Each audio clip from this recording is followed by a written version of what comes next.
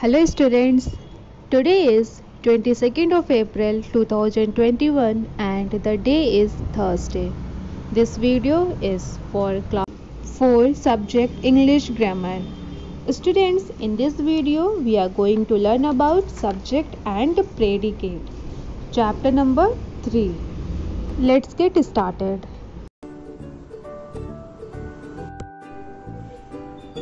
A sentence has two parts. A sentence has two parts subject and predicate. So the question is what is a subject? The part of the sentence that tells us what or whom the sentence is about is called the subject. The part of the sentence that tells us what or whom the sentence is about is called the subject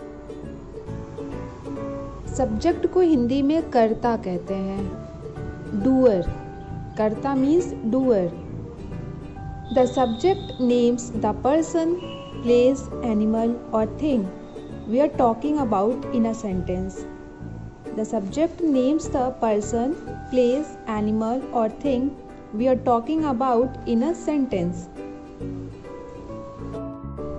sentence में जिस किसी के बारे में बात की जाती है। सेंटेंस में जिस किसी के बारे में बात की जाती है या हमें पता चले कि कि कोई एक्शन किसके द्वारा किया जा रहा है। यदि हमें पता चले कि कोई एक्शन है, वो किसके द्वारा किया जा रहा है? वो एक्शन जिस किसी के भी द्वारा किया जा रहा है, वही सब्जेक्ट है सेंटेंस में। Predicate. What is predicate? The part of the sentence that tells us something about the subject. The part of the sentence that tells us something about the subject is called the predicate. Predicate हमें subject के बारे में बताता है means कर्ता के बारे में कि सेंटेंस में उस कर्ता के द्वारा उस सब्जेक्ट के द्वारा क्या किया जा रहा है कौन सा एक्शन किया जा रहा है?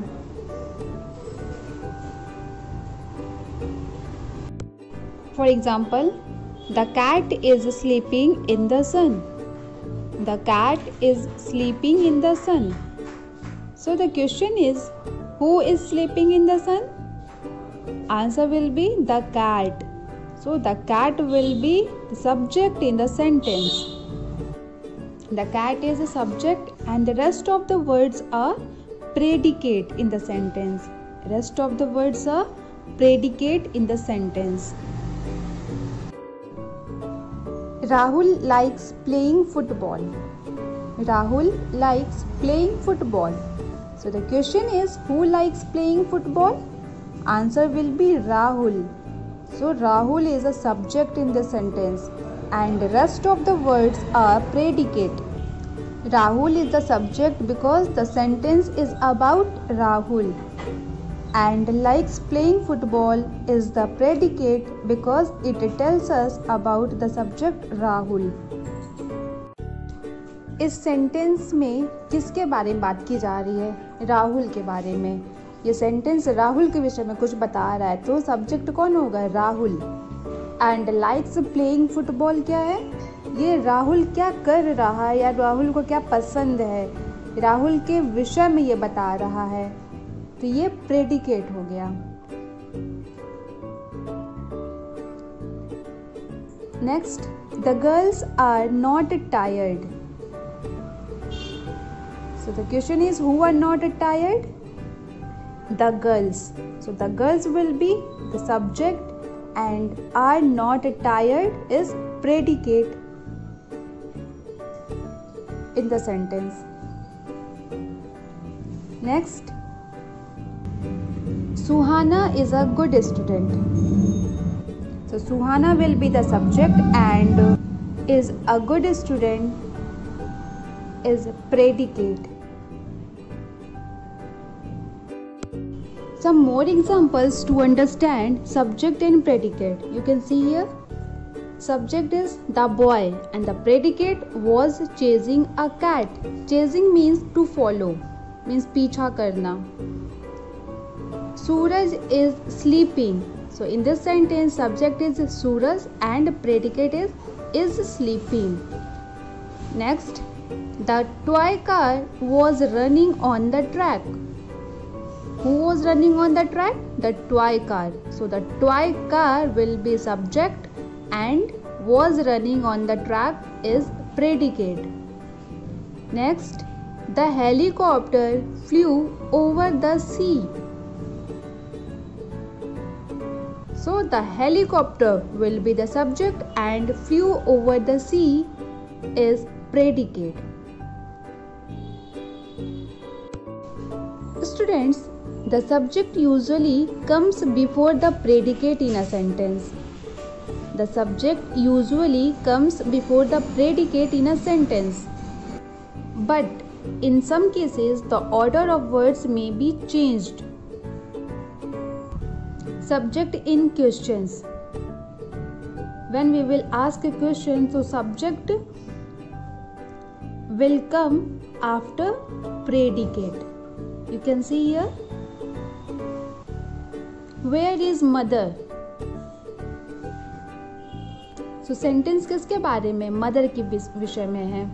Where is mother so mother will be the subject and where is predicate who are you who are you so subject is you and who are predicate how are you subject is you and predicate is how are So, students, you can see here, predicates come before subject.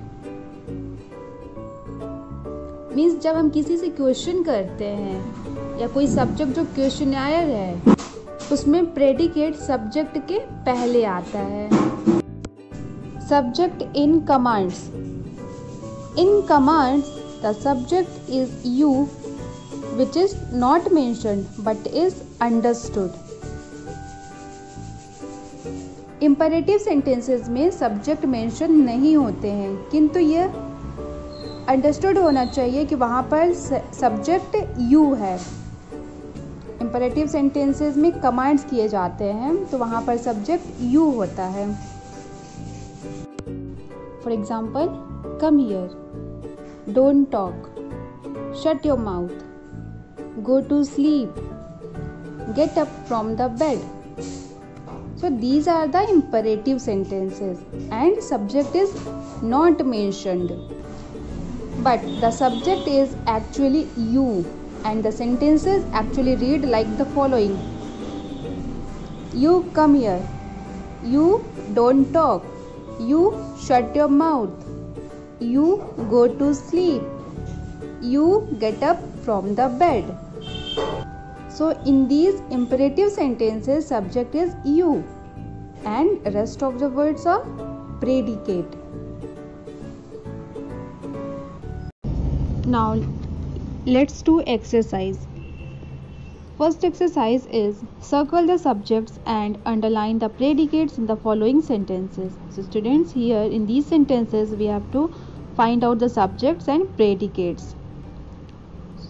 तो जो subjects हैं, उसे हमें circle करना है और predicate को underline करना है। So first sentence is the bird is flying so in this sentence we are talking about the bird so the bird is the subject so we will circle the subject the bird then is flying is predicate so ये we will underline it next Ram is an intelligent student so in this sentence what is the subject subject is Ram so we will circle the subject Ram. Then rest of the groups of words are predicate. Is an intelligent student. So we will underline it. Next, Mary walks in the park. So in this sentence the the subject is Mary M A R Y Mary. तो इसे हमने circle किया then rest of the groups of the words are predicates means walks in the park are predicates तो इसे हम underline करेंगे next the teacher sings well इसमें subject क्या है? द टीचर किसके बारे में बात की जा रही है? टीचर के बारे में. The teacher is the subject इसे सर्कल किया देन सिंग्स वेल टीचर क्या कर रहा है? सिंग्स वेल तो ये क्या है? प्रेडिकेट है. Next the children are reading books so what is the subject in this sentence the children इसमें चिल्ड्रेन के बारे में बात की जा रही है. इट मीन्स चिल्ड्रन क्या सब्जेक्ट है और चिल्ड्रन क्या कर रहे हैं? आर रीडिंग बुक्स बुक्स पढ़ रहे हैं. तो are reading books are predicates next Ritu will come today who will come today Ritu so Ritu is the subject तो इसे सर्कल किया Ritu then will come today is predicate next the teacher is in the library who is in the library the teacher so the teacher will be the subject. The teacher then is in in the is in the library is predicate so इसे हमने underline किया then next you should not sing in the classroom so you is the subject in this sentence so you sub circle किया गया है then should not sing in the classroom predicate है तो इसे underline किया गया next Atul wrote a story. Who did write a story? Atul. So Atul is the subject. Then wrote a story, predicate. And the last sentence is the study table is very neat. The study table is very neat तो इस sentence में किसके बारे में बात की जा रही है स्टडी टेबल के बारे में तो स्टडी टेबल क्या है सब्जेक्ट है और is very neat predicate now next exercise is Circle the subjects and underline the predicates in the following sentences. So students, in this exercise we have to do the same. We have to circle the subjects and underline the predicates. First sentence is sit on that chair. So in this sentence the subject is chair. इसमें chair पर बैठने की बात की जा रही है तो chair is the subject and sit on that predicate so so, predicate को हम लोग अंडरलाइन करेंगे एंड सब्जेक्ट मीन्स चेयर को सर्कल करेंगे। Next how are you in this sentence the subject is you and the predicate is how are next the picture is very beautiful so what is the subject in this sentence the picture the picture is the subject and rest of the words are predicates so is very beautiful predicate है तो इसे underline करेंगे।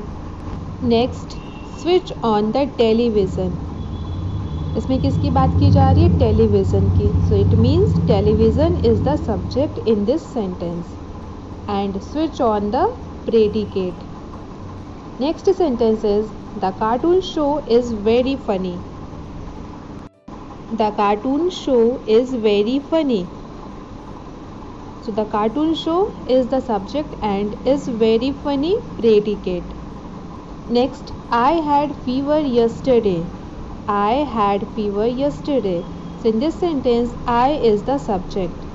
So we will sub circle I and then rest of the words are predicate. So इसे हम underline करेंगे means had fever yesterday predicates हैं. Next, Jyoti come inside the room. So in this sentence the subject is Jyoti तो ज्योति को हम circle करेंगे then come inside the room predicate so इसे underline किया गया है. Next what is that insect what is that insect so insect is the subject and what is that predicate next sentence is Mona and Sona play badminton so in this sentence the words Mona and Sona are subjects. and play badminton is predicate. And the last sentence is where is everybody? Where is everybody? So everybody is the subject and where is predicate. So students your homework is you have to do these exercises in your book or notebook. आपके पास अगर book है तो आप book में इस exercises को करेंगे if you don't have book so you will do in your English grammar notebook. Next homework is fill in the blanks with suitable subjects or predicates. So in sentences में आपको subjects और predicates fill करने हैं. First is the girl dash. Next the sun dash. Next dash is my favorite book. Next dash live in Delhi. Next is dash is the capital of Goa. Next, the stars dash. Next, dash is making a table. Next, Lata dash. Next, dash is my best friend. And the last one is Mohan dash. आपको इसमें subjects and predicates fill करने हैं